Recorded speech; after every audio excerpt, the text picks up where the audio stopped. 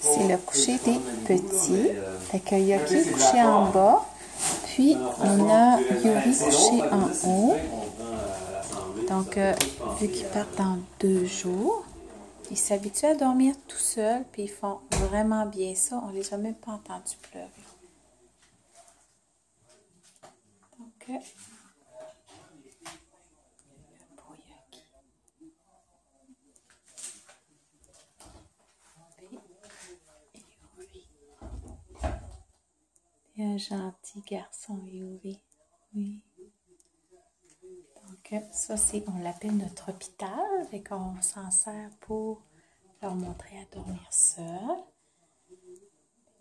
Yuri avait trouvé une façon de s'évader.